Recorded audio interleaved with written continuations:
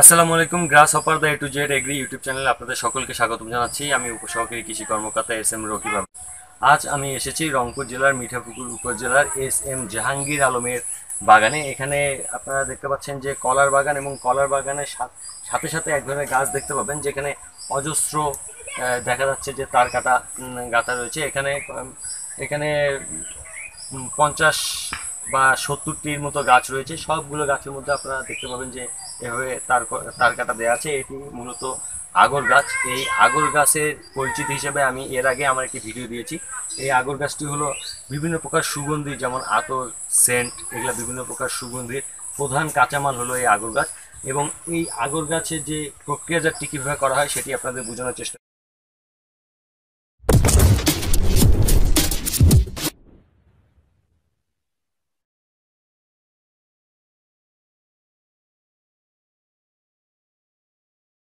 আমরা যদি এখানে দেখানোর চেষ্টা করে দেখা যাবে যে এই যে বিভিন্ন রকম তারকাটা গাড়া রয়েছে এই তারকাটাগুলোর পাশে আমরা দেখতে পাবো যে এই যে কালো কালো হয়ে যাচ্ছে কালো কালো হয়ে যাচ্ছে।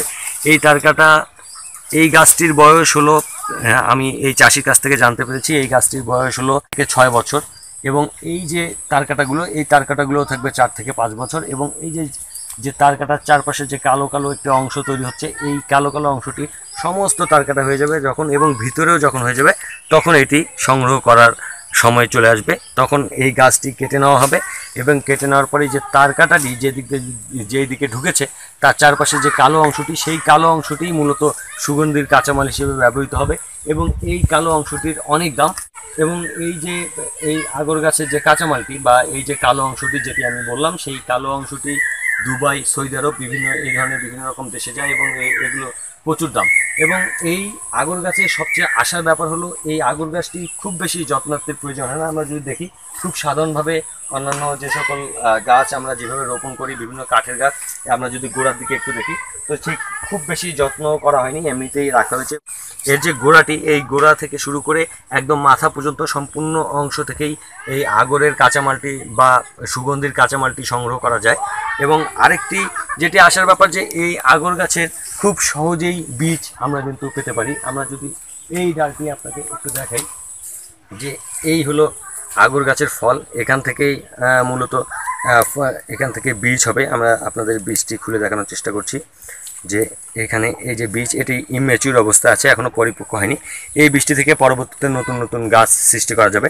তাই এবং প্রচুর পরিমাণে বীজ হয়। আমি এই পুরো বাগানটিতে আমি আগেই বলেছি যে পঞ্চাশ থেকে সত্তরটির মতো গাছ রয়েছে এবং সম্পূর্ণ গাছে এই ধরনের বীজ রয়েছে। আমরা আশেপাশে বা যে কোনোখানে খুব সহজেই আমরা কিন্তু এই গাছটি বাড়াতে পারি এবং এই যে আহ, প্রক্রিয়াজাতটি এটি আপাতত নতুন। আমাদের দেশে খুবই নতুন এবং এটি এখন পর্যন্ত আমার কাছে মনে হচ্ছে যে খুব বেশি কারিগরি দক্ষতার প্রয়োজন নেই। এখানে তার কাটা এইভাবে আহ, গেড়ে দিতে কিন্তু মনে হয় না যে খুব বেশি কারিগরি দক্ষতার প্রয়োজন আছে।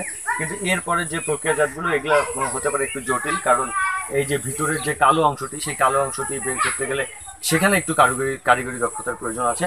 তো যেহেতু এই এই শিল্পটি নতুন এবং এটি আমাদের দেশে অত্যন্ত একটি আশাবাদী, আমরা, আমাদের করে তোলে এই আগর গাছ, তো আমাদের যারা যারা নতুন নতুন কৃষক বা যারা, যাদের পতিত জমি রয়েছে বা যারা এই ধরনের কলা গাছ বা অন্যান্য ফসলের সঙ্গে এই আগর গাছটি লাগিয়ে দিয়ে যেমন আমরা পরিবেশের উপকার করতে পারি, সেই সঙ্গে যে একটি অত্যন্ত দামি এবং অর্থকারী ফসল হিসেবে এই আগর গাছকে আমরা আমাদের কৃষকের মাঝে পরিচিত করে দিয়ে আমাদের দেশকে কিন্তু আরও বেশি এগিয়ে নিয়ে যেতে পারি।